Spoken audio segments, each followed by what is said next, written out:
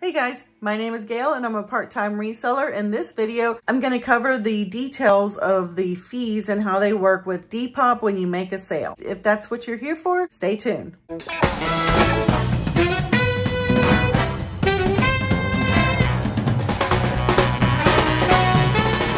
Let's get to my boogie board so I can show you the breakdown of the fees this particular example is the only one that I'm able to do right now because it's the only sale I had, which is where I did my own shipping label and I charged the buyer a flat fee rather than having Depop provide a label to me.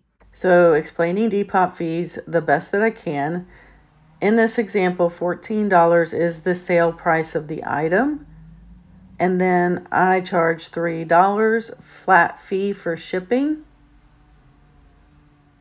Depop takes taxes on the total and charges that to the customer and then collects that entire amount which totals $18.32. Sorry about the error. You can see I'm making that mathematical correction now.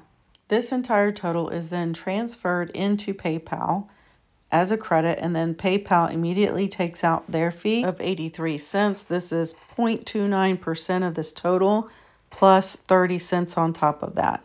So this is the credit amount that you see in your PayPal account from this transaction example. So the credit now available in your account of 1749 will be one transaction and then a separate debit for $3.02 will occur and PayPal that goes to Depop for their fees.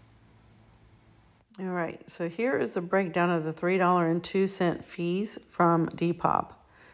They take 10% of the sale price of the item, in this case $14, plus the shipping charged, which was $3.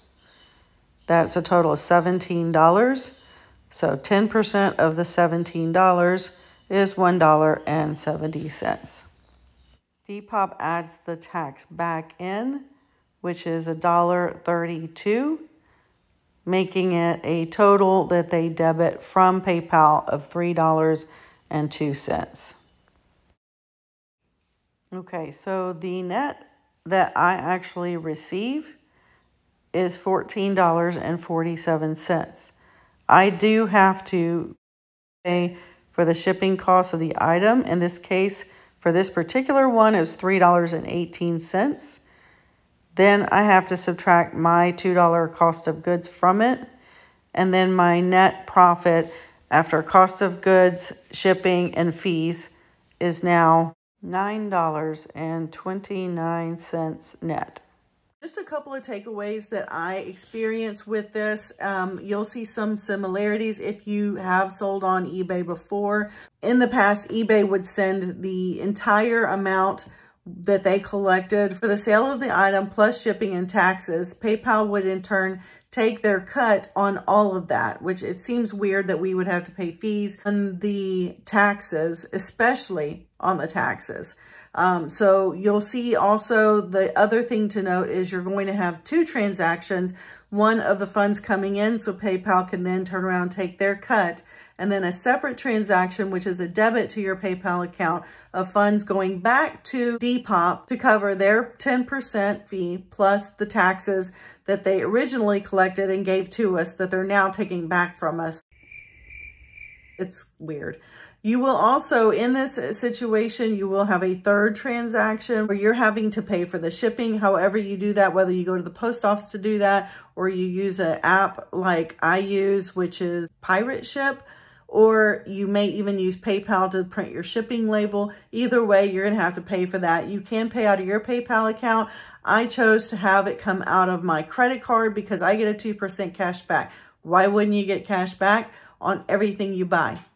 Might as well cut your costs somewhere. I hope this video has been brief to the point and enough information for you to understand how that works. So don't be confused when you do make a sale with Depop that you have money come in and then money go out. Don't think they're taking the money from you twice.